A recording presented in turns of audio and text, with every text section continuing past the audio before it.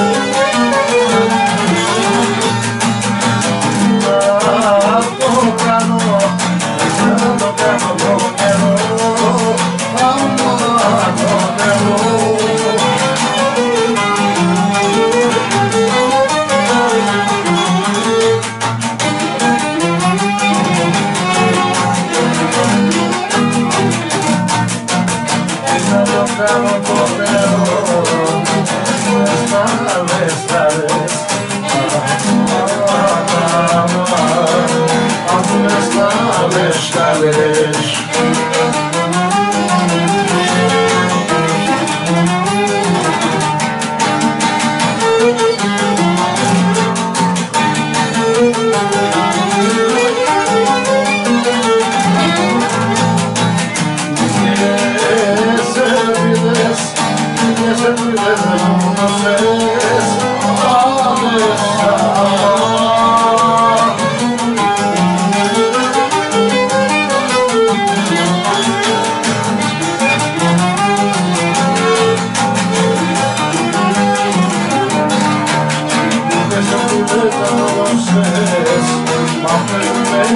By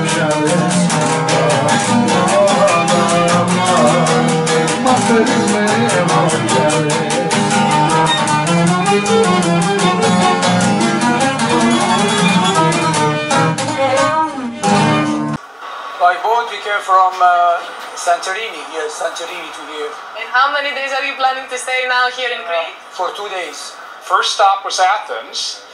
Athens a couple days, and then we stopped at Naxos for how many days? Four days. Had a great time in Naxos, and then we went to Santorini. We were there for three days, and now we're here at Crete for four days, and then we go back. Manujo, bravo. bravo. This is Tim.